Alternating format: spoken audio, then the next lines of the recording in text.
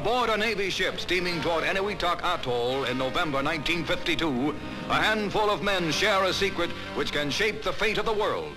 On a tiny island named Elugelab, the Atomic Energy Commission and the Defense Department are preparing to explode the world's most fearsome weapon, the first hydrogen bomb. The building which houses the device, nicknamed Mike, is called the Cab. The island of Elugelab itself is referred to as the Shot Island. Built to collect scientific data, a plywood tube looking like boxwood cars runs two miles to a detection station on Bogon Island.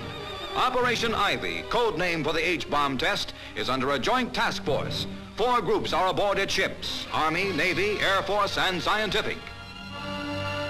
A weather briefing is held as H-hour nears, for weather conditions can make or break the test shot. General Clarkson, Task Force Commander, General Walsh, the Chief of Staff, and Dr. Alvin Graves, Scientific Deputy, question the weather officers. Any chance of showers? Not within the next 48 hours over the entire Marshalls. How about cloud cover? The acute cumulus move in, but if we go off on schedule, uh, nothing to bother the operation. In less than a minute, the first hydrogen bomb ever set off on Earth will explode before your very eyes. Minus 15 seconds.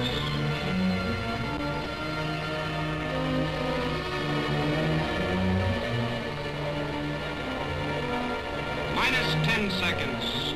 Niner, eight, seven, six, five, four, three, two, one, teaser.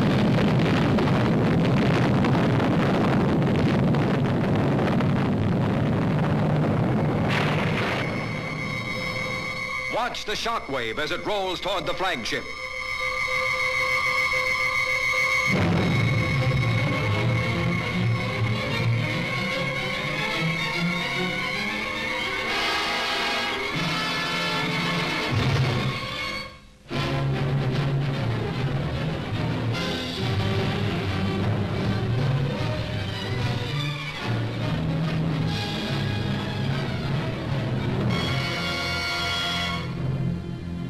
And remember, these are carefully edited scenes, the non-secret portion of a top-secret Defense Department film.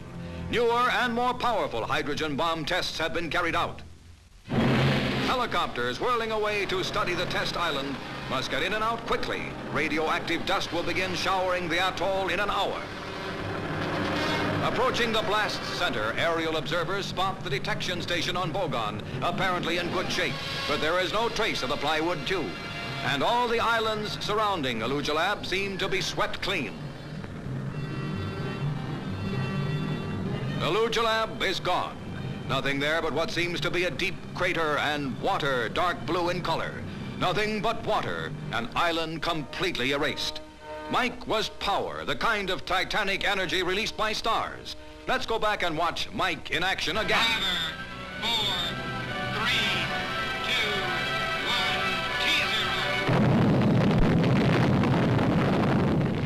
Fireball more than three miles across. Compared to New York's skyline at bottom, this means that with the Empire State Building as the zero point, the Mike fireball would extend from Washington Square to Central Park. Its searing flash would envelop one quarter of the island of Manhattan in the twinkling of an eye. The tremendous upsurge of air from the detonation rapidly pushes up the Mike cloud. Again, nothing of this height and width has ever before been witnessed.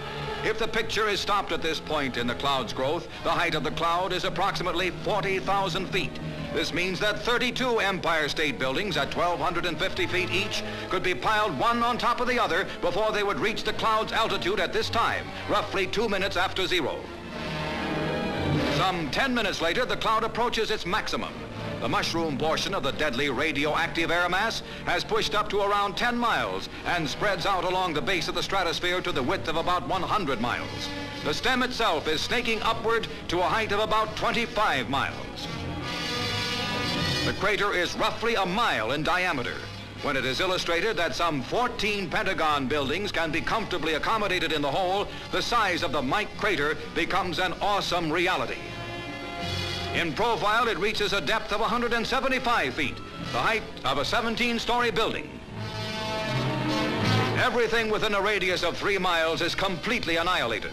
Severe to moderate damage is recorded out to 7 miles. The lateral destructive effects are the greatest achieved by a single explosive device. Light damage extends as far as 10 miles. But let's relate this area of damage to a city like Washington, D.C. With the capital as zero point, there would be complete annihilation west to Arlington Cemetery, east to the Anacostia River, north to the Soldiers' Home, and south to Bolling Field, complete, utter, absolute annihilation. With this mushroom cloud, mankind enters the hydrogen bomb age, an era in which every one of us must share the fateful decision to create or destroy.